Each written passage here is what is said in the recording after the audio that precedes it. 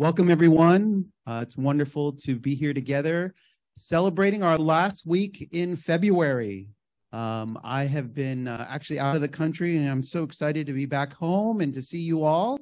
We're going to open up uh, second service with a few announcements. Hopefully, it'll work better than first service. Okay, um, this afternoon, our fellowship, our Cantonese fellowship, will be meeting uh, at 2:30 downstairs. It's a wonderful time centered around God's word in the Cantonese dialect.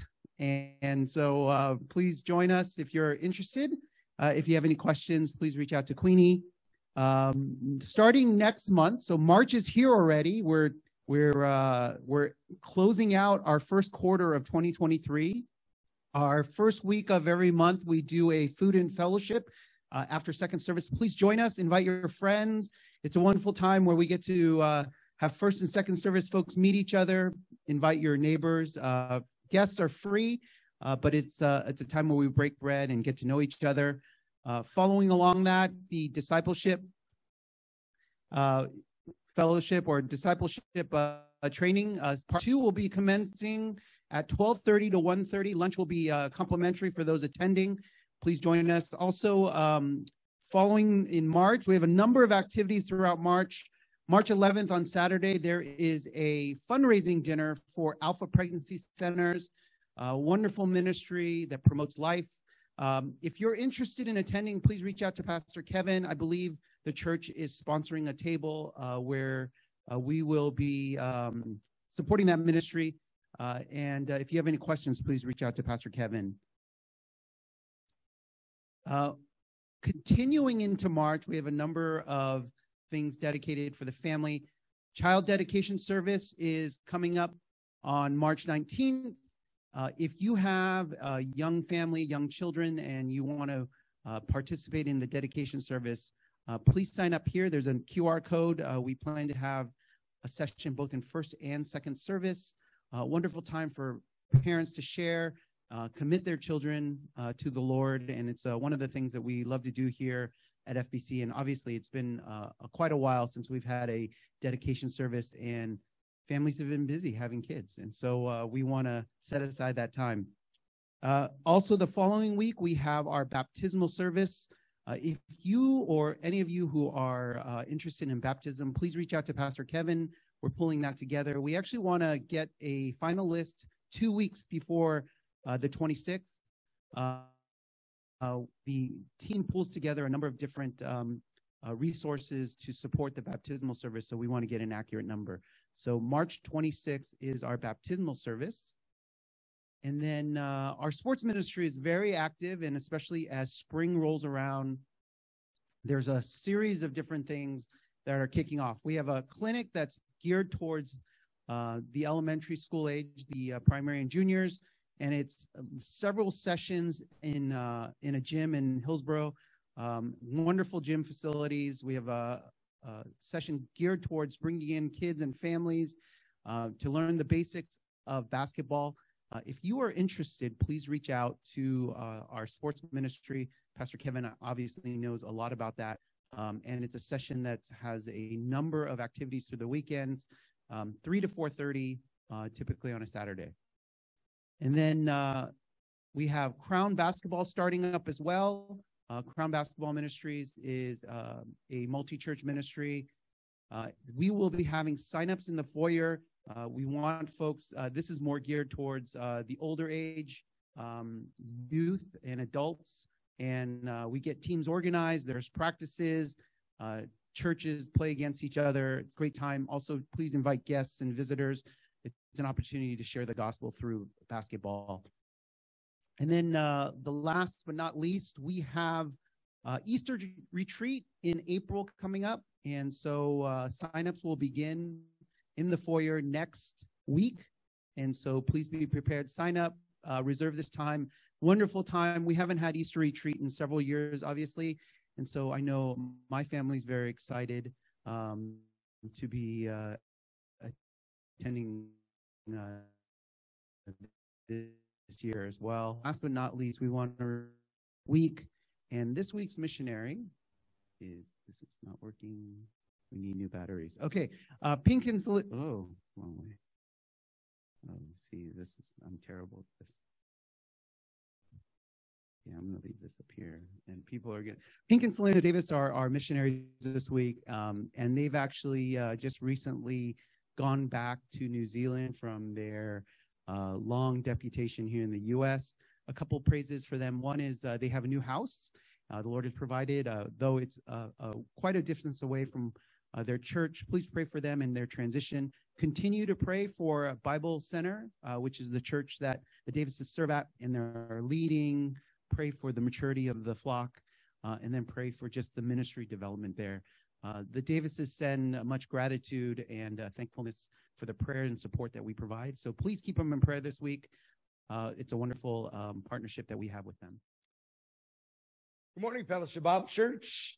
It's good to be home. I was on a plane from McAllen to Dallas yesterday with a pastor of a Methodist church, really committed to the scriptures, and we befriended ourselves going down. He was on a missions trip, and I was at a Bible conference. We got to see each other at the end of the week to see how each other's ministries went. And, and then I said, You got to preach tomorrow? And he said, I get to preach. And I said, Oh, amen. what a what a thoughtful way to think about that. Except, you know, he had to go to Detroit, so I got three more hours than he did. But um, but thank you for your prayers. I spent the last week in the very southern tip of Texas, McAllen, Texas, and um, and I was speaking at a Bible conference down there for uh, a senior citizen trailer park community uh, where it has about 600 folks there. But they they come down during the winter. They're called snowbirds, and so a lot of them are from Minnesota. Almost every house I went to, they're from Minnesota. They're from Minnesota, you know, and they talk like that, and it's, it's really cute and they're, they're, they're really such friendly, loving people. I was like, I had three meals a day for seven days with uh, with groups of four to eight seniors. I mean, and it was it was wonderful, tiring, and that was more tiring than preaching actually. But it was just a delight to to be with them and to be loved by like you have 300 grandparents. Anybody ever have 300 grandparents? And then they're they're all loving you I lost my voice due to allergies during the week. Monday was like really, really bad. It got better each week, but they were giving me emergency Claritin, um, uh, this this this uh, cough drop. Uh, somebody gave me Chinese cough drops. I, I use those, but uh, they gave me this fisherman's cure or something like that. You know, it was supposed to be real strong. So they were giving me all kinds of stuff, you know, to to help my voice. It was nice having three, four hundred doting grandparents last week. But it's interesting because it's it's a it's a unique ministry. They go the the main drive. They're a subsidiary of a Bible college in town. This Bible college is called Rio Grande Bible College, and they have about 200 college students that are training and preparing for the ministry. And all of the ministry is all in Spanish. It's wonderful. When I spoke there, I was simultaneously translated. And, uh, and, and, you know, I mean, I wasn't pausing for a translator. It's just really neat, the ministry that they do there. But they have hundreds of volunteers who will put in over the winter because they're trying to escape the snow from Wisconsin uh, and Minnesota and South Dakota and, you know, and they're trying to get in Canada. And so they go south and they serve in the morning at this Bible college. They put in this winter over 25,000 volunteer hours and the the average age was 74 of the over 100 volunteers you know and they were quilting they were painting they were laying cement you know and they were doing uh, electro uh, uh, uh you know electrical hookups you know they were building homes for the students. Uh, it's it's just a, it's just amazing. So they do that in the day then in, they get together for concerts and Bible conferences. They have five Bible conferences uh, a year uh, for a week. And so I've had the privilege of being there for my third time. And, uh, you know, you just love them. They'll love you. And, uh, and so if I give people tips on when you're going to go there, I would tell them just love them and they're going to love you back, you know, because they're grandparents. They're, they're Midwestern grandparents that just want to love you. But they're also former pastors, retired missionaries, um, elders and deacons in their different churches. And so you have to be sharp. And uh, there were there were a group of 18 ladies who says, "Oh, we have a Bible study where we're studying Jude and we're using Kay Arthur's material." And I have great respect for Kay Arthur. She's great, you know. And I said, if I get a chance to read Kay Arthur, I'll read Kay Arthur because she's really, really good. And uh, and and and I, I, like the way she thinks about the Bible. And uh, you know, but I better be sharp. And so, you know, they they kept on me every every night, and they just, okay, yeah, we match it up. You know, this was good. And so, and so, uh, another thing is they're from different denominations. They're Nazarene, uh, Christian Missionary Alliance. They were uh, um, Baptist. They were fundamental Baptist, Independent Bible. Um, you know, I mean, they were from all different denominations. And because of that, you know, you only major on the major and you don't minor on the minor. But for them, a lot of it is generational. So, you know, when you go there, I, have to preach in a tie and a jacket, you know, and so, uh, so, you know, I, I just, just leave every session. I'm drenched, you know, and, and I only have the clothes on for an hour and then I change back into my own clothes, you know, but it's, uh, uh but you know, it's, it's that, it's, it's hymns, right? Hymn only. And, uh, you know, they're like, when a worship team, you know, that would be not, and it's just generational. And so, so I, know, so I tell them, because we were going through the book of Jude, where we need to earnestly contend for the faith. Uh, but I said we need to show the younger generation how to fight for the right battles.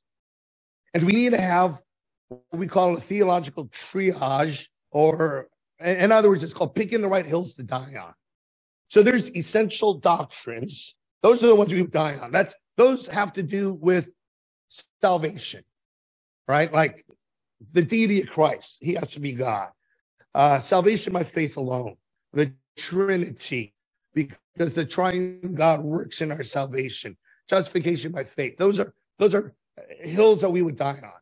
Then there's a second category that uh, we would understand that biblical, but maybe it's not as clear as the doctrine of salvation uh, issues. And so, like the timing the rapture or use of uh, some uh, spiritual gift. We don't necessarily have to fight for. And then there's things that are opinions, like card playing. Uh, you know, there's a group that played cards there. There's a group that would never play cards there. Uh, and then one fellow approached me after I kind of taught about these kind of columns. He says, "You got it wrong. Alcohol is a primary doctrine." And then I said, "Okay, well, I'm I, I I'm saying okay. I don't want to fight him in the lobby here you know, and so, uh, so, uh, you know, so you learn how to deflect. And I just said, oh, I'm a teetotaler too, you know, and so, uh, so I, I'm, I'm not a drinker myself, you know, so you, think you just kind of uh, use that to kind of change the topics. I had someone else who went after me, uh, uh, a couple of people actually, because they believe the King James version's the only translation that should be used. And I didn't use the King James version. And so they were correcting me on that. Right. But you got all kinds of people who, who do this. And I'm just trying to say, you know, if we keep setting up our Christianity as and putting traditions as the essential doctrines, we're just going to scare off that we're not going to teach the new generation how to focus and fight for what really needs to be fought for. And those are essential doctrines. You know, I'm I'm I really don't one of the the pet peeves I have in ministry is when I hear people say, oh, well, FBC believes this or the pastors believe this when it's not true, you know, but sometimes these assumptions are made and it's not even biblical. And, uh, you know, now if it was biblical, you know, I'm saying, oh, yeah, well, that, I'll own it. But when it's, when I said, I've never said that, then, you know, people say, oh, well, you know, they, they think that. And so, so that kind of grieves me because I never want anything that is man made to get in the way of God's grace and hold me accountable to that here at Fellowship Bible Church. We don't want to have tradition or history or, you know, FBC has a history of having a lot of rules, you know, back in those days where, where it was how it's going to govern your lifestyle. But if it's not in the scripture, I don't want to be making that a handcuff because that's what religion does. religion eh, are man made ways to try to please God, to try to cleanse our own soul by man's efforts and not the grace of God. So Jesus comes and, he, he transforms, he overcomes religion in this section of Luke chapter 5, uh, verses 12 to 19. So let's look at six ways Jesus overcomes religion. The first way he overcomes religion is he overcomes the effects of sin. The effects of sin. While he was in one of the cities, there was a man full of leprosy. Leprosy? Lepers, jaguars, and you know, and just now, but leprosy, also called Hansen's disease today, it's actually a disease that in 1980 affected 5.2 million people in around the world. That's a lot of people that have leprosy. It went down by 2020, where there are only 200,000 cases. But it is curable. It is curable by taking a year of these drugs uh, that were made to cure leprosy or Hansen's disease. Here, he would need to take medicine over 12 months, but look what happened. When he saw Jesus, he fell on his face and he begged him, Lord, if you will, you can make me clean. And Jesus stretched out his hand and touched him, saying, I will be clean. And immediately the leprosy left him. It Didn't take a year of drugs in today's modern world. Jesus healed him instantly. Now, sickness is a result of sin. When we were originally created, we weren't going to die. We weren't going to get sick. When the part of the judgment in Genesis 3, thorns, thistles, and death, right? Creation was affected, and now man is susceptible to death. We're susceptible to disease. Isaiah used leprosy as an analogy of sin. Also, Leviticus. Like leprosy, sin is rooted internally, but has external manifestations. Aren't you glad I didn't use any pictures of leprosy here today? Leprosy separated people. Some people went to leper colonies. And, uh, you know, back in those days, they went in leper co- colonies, right? Ben Hur's sisters were in leper colony. Leprosy spreads like sin. The clothes of the leper were burned according to Leviticus 13. Leprosy was a stigma, but a stigma like sin can be removed by the grace of God. So sickness, which is an effect of sin, Jesus overcame that as we see him. Now, he didn't want to get a lot of publicity about this. He didn't want any instant Instagram post on this. What he wanted him to do was to go to the priest, show him he'd been cured, and prove to these religious leaders that Jesus has the power over sickness. So he charged him. No, he didn't charge him like with Visa or MasterCard. You know, everything's free with Jesus. But he charged him in the sense of a command to tell no one. And he says, But go show yourself to the priest and make an offering for your cleansing, because that's what Leviticus 14 says to do right? Jesus didn't come to destroy the law, he came to fulfill it. And he fulfilled it by taking care of sickness. But he says, I want you to go to the priest, follow the law, be ceremonially clean, as Moses commanded for a proof for them. But now, even more, the report about him went abroad, and great crowds gathered to hear him, to be healed of their infirmities. But he would withdraw to a desolate place and pray. But here we see he went after the effect of sin. And people were saying, wow, what is this going on? First Peter 2 24 says, He himself bore our sins in his body on the tree, that we might die to sin and live to righteousness. By his wounds, you have been healed. His spiritual effect has cured everything with, between birth and death and everything in between. The second thing we see Jesus overcoming is overcoming obstacles to salvation.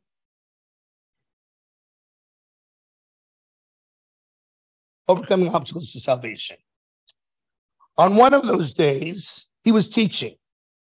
Pharisees and teachers of the law were sitting there who had come from every village of Galilee and Judea and from Jerusalem. And the power of the Lord was with Jesus to heal. So with this spectacle, there was a report there's uh, coming with the Jewish leaders. We better go out there and talk to them. This is the first time we see scribes and Pharisees mentioned in the New Testament.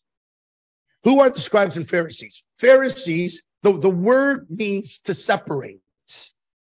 During the time of Ezra and Nehemiah, because we read about this in Ezra 9 to 10, 9, chapters 9 and 10, Nehemiah chapters 8 and 9. But here we see that um, Ezra probably set up the Pharisees to help ensure Israel to be separate from the world. So Pharisees, which means to separate, their job was to keep Israel separate from the world. That's why the Mosaic law, the law that was given to Moses, was given so that Israel can be separate from the world. And so the Pharisees would help along that process.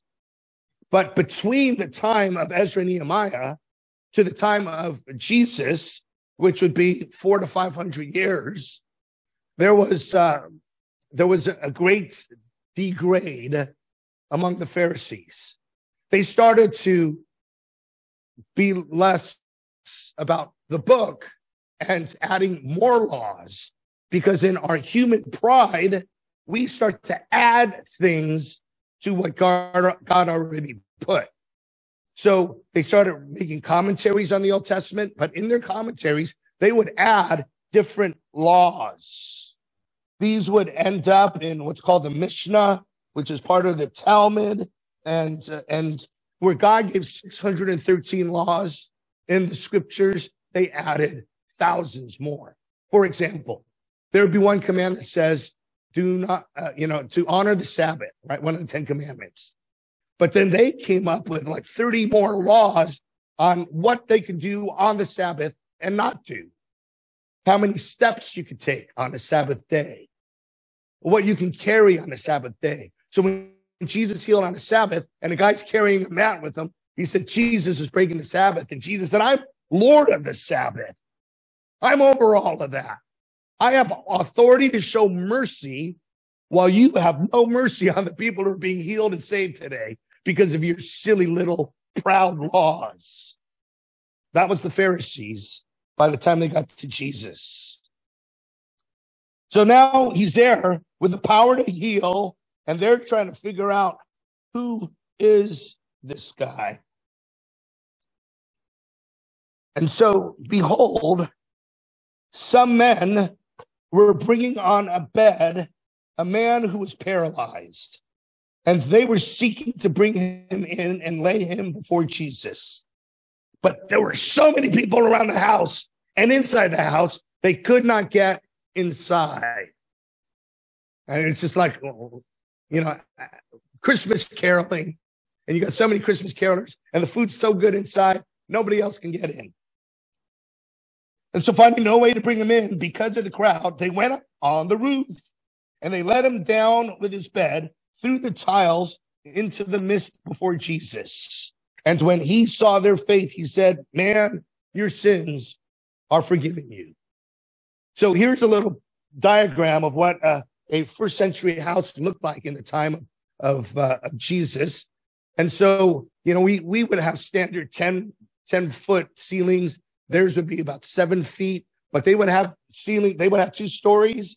They would have a, a roof, which would have some wood or, or, or, or, um, or, or plants on, on, top, you know, that, that would, would uh, allow breathing and, and keep the water out. And, uh, but they removed that and they lowered in the bed. This is an amazing group of guys that uh, some modern authors have called stretcher bearers. That we would be challenged to have this ministry of seeing who has needs. And a stretcher takes two people to carry. Usually, uh, you can drag a guy, I guess, with one. But but it takes two to four, you know, and we're helping somebody who is in need of Jesus get there, even if it, has to be through creative access through the roof.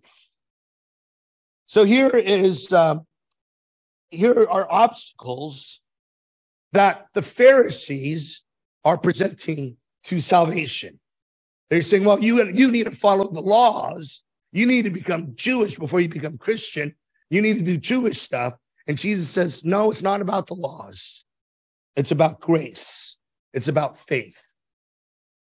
Even illustrated by the difficulty of getting into the house where they use creative access. Notice who Jesus credited with faith.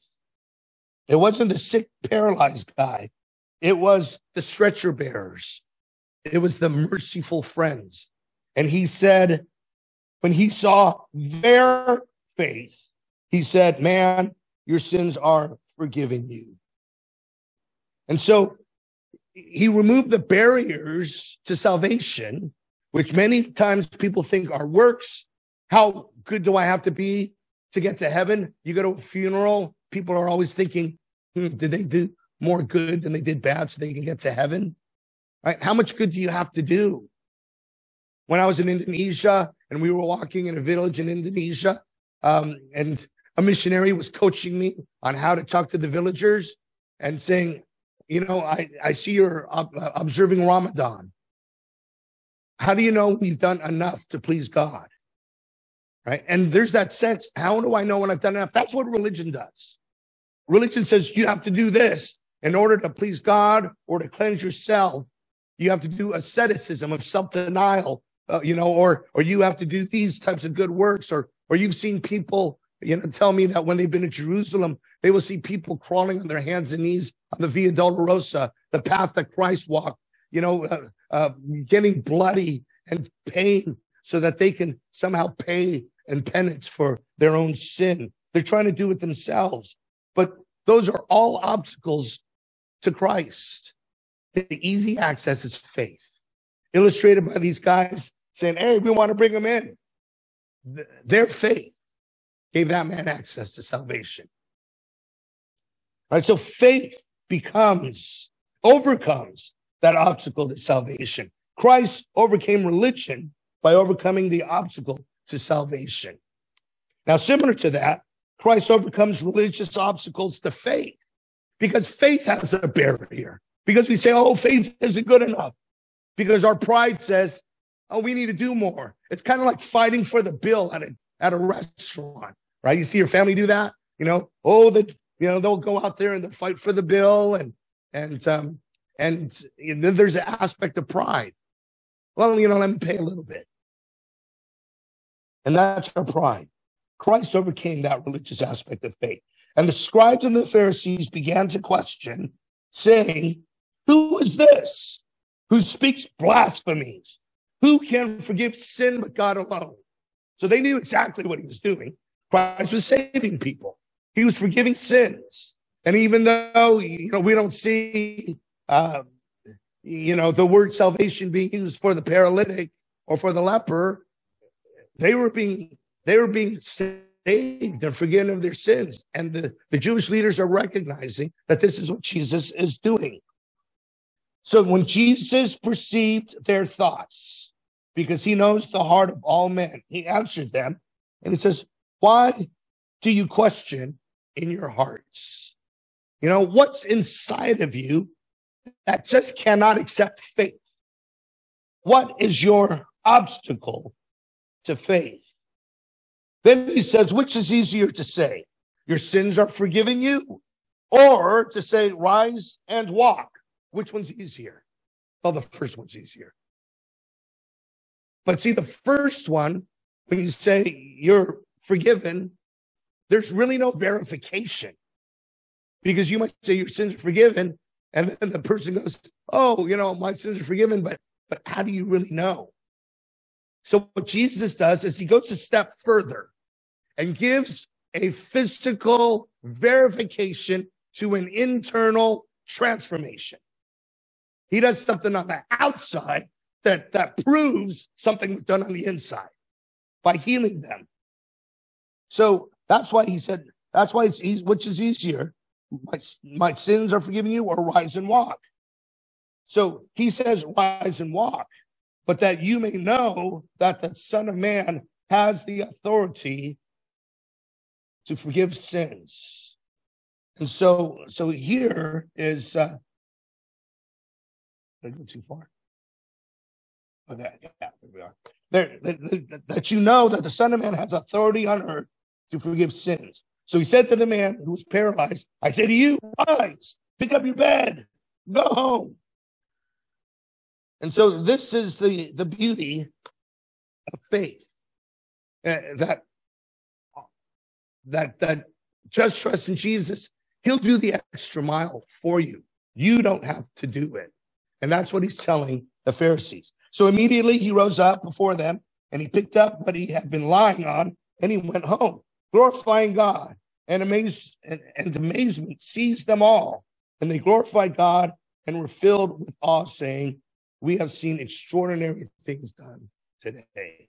They were probably really glad too that there was a hole in the ceiling because it allowed the hot air to go out. But anyway, probably, maybe not. The next thing Jesus does is he overcomes cultural prejudice. He overcomes cultural prejudice. So we go out and we saw a tax collector named Levi. And guess what he was wearing? I don't know. Set you up for that one. All right. So there was a tax collector named Levi, and he was sitting at tax booth.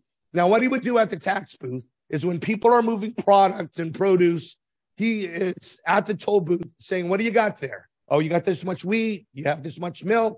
Here's your tax that goes to Rome. All right. So he was a tax collector. Now, Levi would later be na- renamed by Jesus Matthew. Matthew, who would be the writer of the first gospel, which means gift from God. But here he said to Levi, Follow me. And immediately he left everything to follow Jesus. He rose and he followed him. And Levi uh, made a great feast in his house to celebrate. I've quit my secular job because I'm now going to be serving Jesus in ministry. So, you know, I mean, tax collectors were pretty rich because they, they added surcharges, you know, to, uh, to what the people were paying to pad their pockets. That's why people didn't really like tax collectors. But here, Levi was throwing a party. Now, it doesn't say that they were doing anything necessarily sinful. They just were not liked by the Jewish people because tax collectors were Jewish themselves, collecting from their own people to pay the hated evil empire of Rome.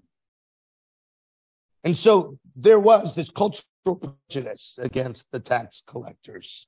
But Matthew had them at the party, and they were reclining at a table with them.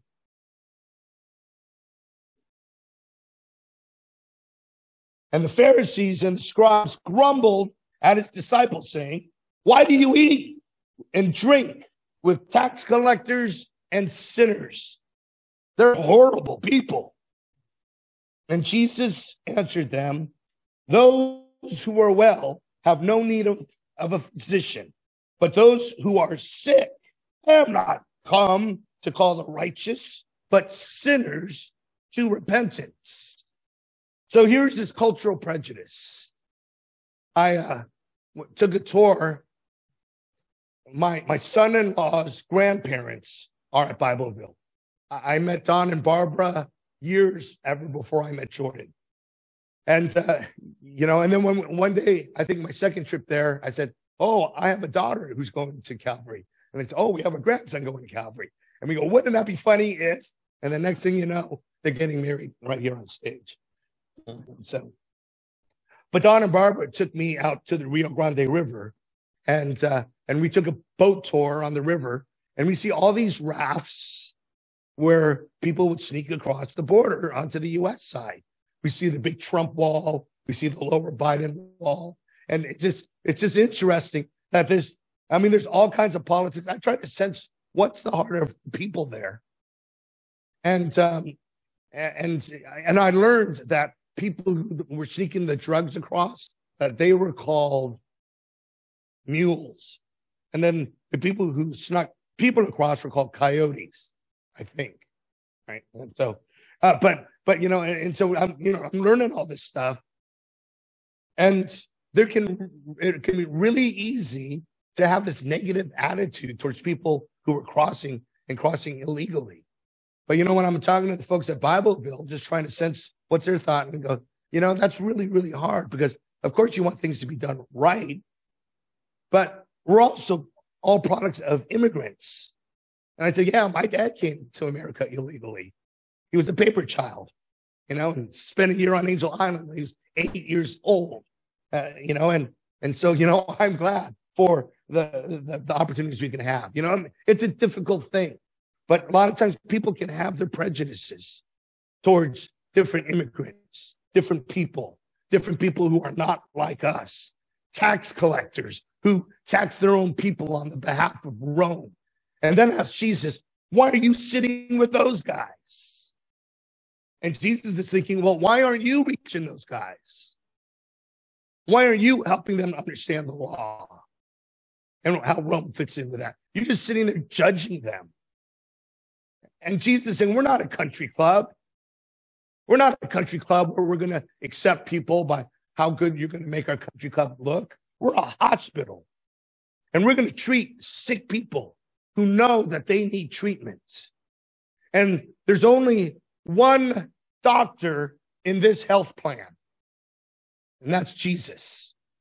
And even the PAs, the physician assistants, and the nurses and the therapists who work in this hospital are also in need of this healthcare system given by the one doctor, Jesus. And Jesus says, I did not come to call the righteous because, you know, like, you know, by Bibleville, I, I, I call uh, it's like CBM camp for senior citizens. I mean, really, they they have so much fun there. They serve in the morning, they party, they, they study in the evening, and then they party all night, right? You know, and um, except they have all their own own homes there, so they don't like really sneak out like CBM camp. But anyway, uh, but but um, but here it's it's not like a, a country club. It's it's a hospital, and we need to have our sins forgiven. That's what Jesus said. I have come not to the righteous, but to sinners for repentance, so that sinners would repent of their sin and come to faith in Christ. Repentance might be one of those words you feel uncomfortable about, but it's really the flip side of faith. Faith and repentance are two sides of the same coin because when you have faith in God, you're turning from the world or yourself to God. When you put faith in Jesus as your savior, you're, you're turning from trying to save yourself or depending on religion to save you. Then I'm going to give up on man made religion and trust Christ alone as my savior. So that's why faith and repentance are, in a sense, synonymous, even though faith might be the positive side of turning to, repentance might be the, the negative side. Not negative bad, but just, you know, on the other side of positive of turning from, turning to, turning from. It happens on the same side of the coin. So that's why he says, I have come call the sinners to repentance. Christ also overcomes religious duty. Religious duty. So the Pharisees, you know, I mean, they they like their religion and they like their practice. And he says, Hey, haven't you watched us? And the disciples of John, they are fasting often and they offer prayers. And so do the disciples of the Pharisees. But your disciples, they eat and drink. What is it? I mean, what about these, these rules of, of religious duty? Now, fasting is a good thing to do, but it's not commanded in the New Testament. It's practiced in the New Testament, and, but it's not commanded in the New Testament. Matthew 6 assumes that there are some who were fasting, but he says, when you fast.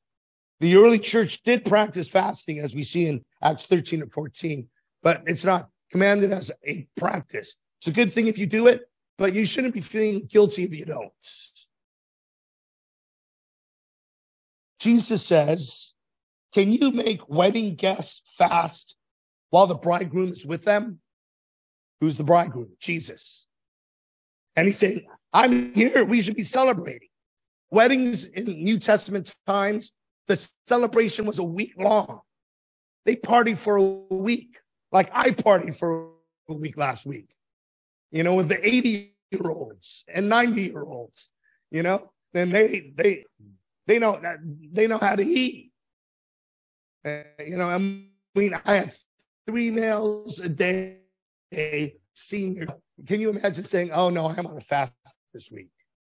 I'm not going to Texas and saying I'm fasting."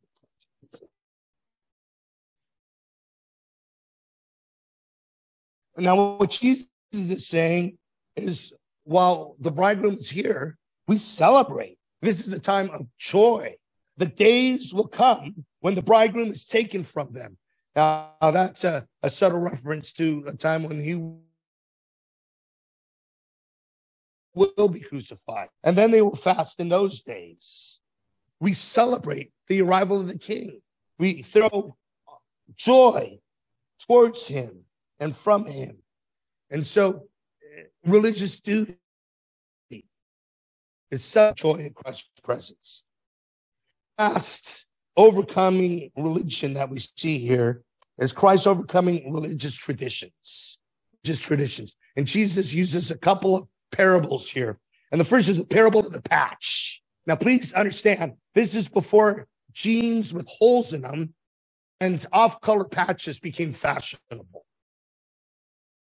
Jesus tells them a parable. No one tears a piece from a new garment and puts it on an old garment.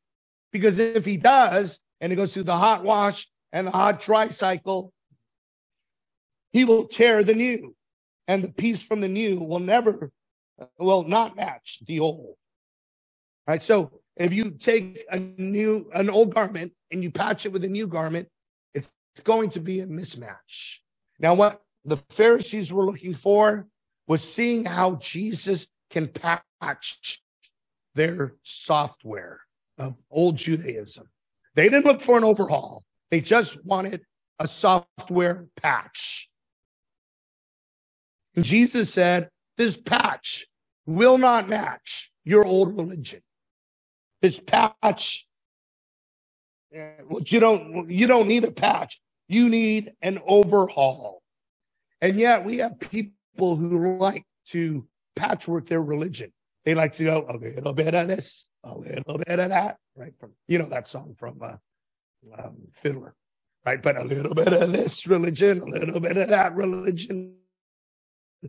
What a joy to you know, Ron is as accepting Christ. She, I believe in all religions for all these years, and and Christ by by not taking Christ alone, not a patch here, and not a non-patch here. When I was at Bibleville, some of the ladies would volunteer as seamstresses, and they're making uh, uh, curtains. And I also saw they had a quilt table where they're making some really beautiful quilts. You know, but that's where they take a little patch here, a little patch there. Jesus comes with a whole garment of salvation. Isaiah 61:10 says, For he has clothed me with the garments of salvation. He has covered me with a robe of righteousness. We get a whole robe, not a patch, not a patch to the system. So, also, in illustrating, he overcomes those religious tradition of the old religion. He uses another illustration of wineskins, of wineskins. Nobody puts new wine into old wineskins. Why? New wine is in the process of fermenting. Fermenting puts out gas. If you put new wine into new wine skins, there's flexibility. Now, the skins would be skins of animals. They would take, clean it up, sew it together, put in the wine. And then there was flexibility in new wine skins for it to expand because of the gases. but you would not put new wine in old wineskin. Why? It's already been stretched out and it's brittle and it would explode. My grandfather, uh, and Mitch's grandfather too, because we're brothers. But Mitch, my grandpa, uh, uh, my mom's dad, was a zookeeper at the San Francisco Zoo. Every weekend we went out to the zoo and it was so fun. We would get those pink brick popcorn that I can't find anymore, but oh man, those used to be so good. Ate those every week. You know, my dad, my grandfather, he's feeding Tinkerbell the elephant. For those of you who remember when San Francisco Zoo had elephants, you know, and he even got pushed into the water by a, an angry hippo. And, um, you know, and he was never the same after. That was a, that was pretty rough patch. But, um, but because he worked at the zoo, he was able to get this ostrich egg. So he gave me this ostrich egg. It was really cool. It's like this big. So I put it in my room, but he never told me what to do with it. About a month later, I hear this bang. And then I smell this smell. And then I walked up into my room and it was like all colored with yellow sulfur, everything. Oh, it was, it was horrible. Mommy here, you remember that? And and so so it was uh no, not you, sorry. Uh, but but it's uh, uh, you know, but it was it, it, because of the gas, it just exploded, and that's what would happen if you put new wine in old wine skins. So that's why he says if he does, the new wine will burst the skins and it will be spilled, and your skins will be destroyed. But new wine must be put into fresh wine skins, and no one after drinking old wine desires new, for he says the old is good. So he's saying, Pharisees, you don't need to put this new religion and try to fit it in your old wineskins. You need new wineskins. Jesus is the new covenant who came to take away the old covenant of the law. He didn't come to destroy the law, but to fulfill the law. And as the new covenant promised in the Old Testament, it would be everything that Jesus did for us because religion could not do it for man. That's the new covenant. Hebrews 8:13 says, and speaking of a new covenant, he made the first one obsolete. It was an old wineskin. It was an old garment. He took that old covenant away. And what is becoming obsolete and growing old is ready to vanish away. You know, gone is the, the system of Moses. Now is the grace of Christ. Before was that of religion versus the grace and access of our Lord Jesus. So we have to understand is that man-made religion is a barrier to a saving relationship with Christ because it focuses on what man should do instead of what Christ has done. So religion that's saying, oh, well, well, I believe in Jesus, but I also believe that I have to do this, this, this and that. I have to have perfect attendance. And if I don't, then I have to go visit a priest in a booth. And then if not, you know, then I have to pay time off in purgatory. Right? And it's all about what they are adding to what Jesus has done. Religion is a barrier to a relationship with Christ because it is about what man should do instead of what Christ has done. And I'm asking you today, if you have not trusted Christ as your Savior, forsake religion, even Christian aspects that has put man made works as an interference to the wonderful grace where Jesus did everything for us. Legalism, which is the imposition of man's laws to make man look more holy and righteous than somebody else, which is the, the pride of the Pharisees, the external, the, the externalism of the Pharisees who just worked on the outside, but didn't work on the inside of the heart. Legalism sets up man made laws or rules that are contrary to God's grace, which contrast man's efforts instead of God's gift of salvation. What man does versus what Jesus is gifting us. Trust Christ as your Savior and receive the gift of salvation because he died on the cross for us. And last, Christianity is absolutely different than any other religion. Religion is man trying to say, how can I work my way up to God? Biblical Christianity is God reaching down to man to pick us up because we can't climb. We can't climb our way to God. It's too high. It's too far and we're too sinful. He came down and he did all the work for us. In Oxford University, there was a discussion one evening about all the merits of different religions and how Christianity was different. C.S. Lewis, a strong defender of Christianity, comes in late, sits down in this debate, asks what the rumpus is all about. And he learns that it's about the uniqueness of Christianity, to which he immediately and simply commented, Oh, that's easy. It's grace. That's the difference between religion and Christ and a relationship with Christ, which is offered to us free. That's grace. All we need to do is receive it, not religion, where you have to work for it. Christ overcame religion. Our precious Heavenly Father, thank you for our Savior, the Lord Jesus Christ. Father, we thank you that He transformed religion, even the Jewish religion that He was a part of, pointing out that it is not man's effort, but it is Christ's work.